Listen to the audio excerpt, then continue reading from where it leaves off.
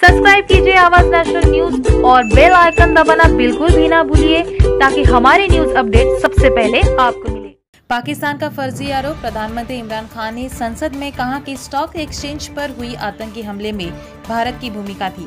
हालाँकि हमले में जिम्मेदार बलूचिस्तान आर्मी ने ली थी।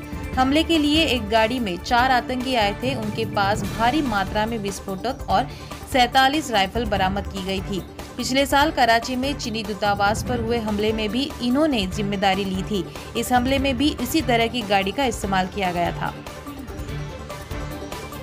पूरी दुनिया में कोरोना वायरस के संकट से जूझ रही है। इस महामारी के खिलाफ जारी लड़ाई में डॉक्टरों से लेकर तमाम स्वास्थ्य कर्मी या फ्रंटलाइन योद्धा की भूमिका निभा रहे हैं। कोरोना संकट के बीच आज देश भर में डॉक्टर्स डे मनाया जा रहा है। इस मौके पर प्रधानमंत्री नरेंद्र मोदी ने स्वास्थ्य कर्मियों को सलाम किया है। पीएम मोदी ने ट्विटर पर एक वीडियो शेयर किया है। कोरोना के खिलाफ भारत में जो स्वास्थ्य कर्मी जंग लड़ रहे हैं, देश उन्हें सलाम करता है। योग गुरु बाबा रामदेव ने पतंजलि के कोरोनिल दवा पर हुए विवाद को लेकर सफ़ाई दी।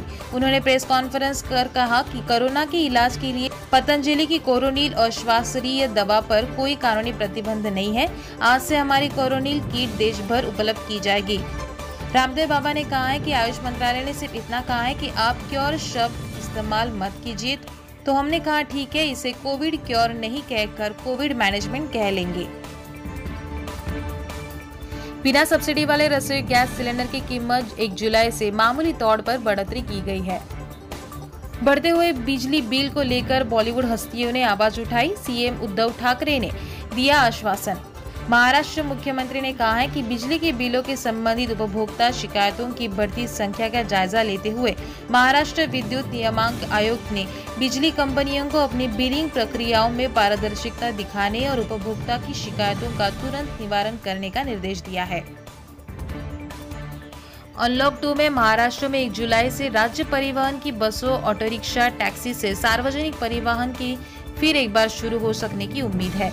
सरकार इसके ज़रिए तमाम लोगों को एक शहर से दूसरे शहर भेजने की सहूलियत दे सकती है, जो रोज़गार के लिए एक शहर से दूसरे शहर जाना चाहते हैं।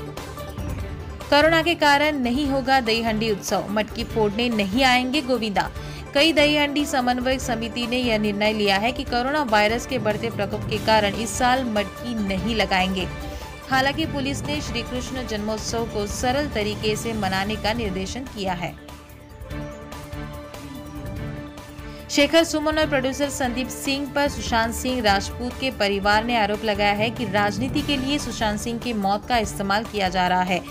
शेखर सुमन और खुद को सुशांत सिंह का दोस्त बनाने वाले प्रोड्यूसर संदीप सिंह ने कल राष्ट्रीय जनता दल के बैनर के तले तेजस्वी यादव की मौजूदगी में सुशांत सिंह की मौत को लेकर एक प्रेस कॉन्फ्रेंस रखी थी। इसके तुरंत बाद शेखर सुमन ने राष्ट्रीय जनता दल पार्टी की सदस्यता भी स्वीकारी थी। भारत में कोरोना के मामलों में लगातार इजाफा हो रहा है। बीते 24 घंटे में देश में अठारह नए पॉजिटिव केसेस सामने आए हैं। वही इस महामारी से 507 लोगों की जान गई है। एक दिन में कोरोना से मरने वाले यह सर्वाधिक संख्या बताई जाती है। ऑलराउंडर रविंद्र जडेजा को 21वीं सदस्य के भारतीय टीम का सबसे मूल्यवान खिलाड़ी घोषित किया गया है। विजडन ने गेंद, बल्ले और फील्डिंग में योगदान की वजह से यह स्थान दिया है। विजडन ने क्रिकवीज का आकलन चुनते हुए 30 खिलाड़ियों की लिस्ट जारी की है, जिसमें जडेजा, कुल मिलाकर दूसरे स्थान पर है। पहला स्थान मुथैया मुरलीधरन को दिया गया है।